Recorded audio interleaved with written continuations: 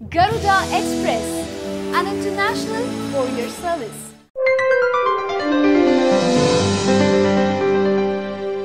Release वाले दिन से ही बाहुबली दो ने बॉक्स ऑफ़िस पर जो धमाल मचाना शुरू किया और वो धमाल बॉक्स ऑफ़िस पर जारी है शुक्रवार को रिलीज़ हुई इस फ़िल्म ने चार दिन के अंदर ही 620 करोड़ की कमाई करके पहली भारतीय फ़िल्म बन गई है इस फ़िल्म के हिंदी वर्जन की बात करें तो इस सिर्फ़ हिंदी भाषा में रिलीज़ से ही इस फ़िल्म ने अभी तक 150 करोड़ की कमाई कर ली है। सोमवार के दिन फ़िल्म ने 35 करोड़ से ज़्यादा की कमाई की है। इसके फाइनल नंबर्स आना अभी भी बाकी है। सिर्फ़ हिंदी के भाषा से बाहुबली दो की इस कमाई के आंकड़े खुद करण जौहर ने शेयर किया है। करण ने ट्वीट किया कि हिंदी भाषा के फ़िल्म के शोज़ ने पहले दिन 41 करोड़, दूसरे दिन 40.5 करोड़ और तीसरे दिन, यानी संडे को 46.5 करोड़ कमाए हैं। इस तरह सिर्फ़ हिंदी के शो से ही फ़िल्म 128 करोड़ कमा चुकी है।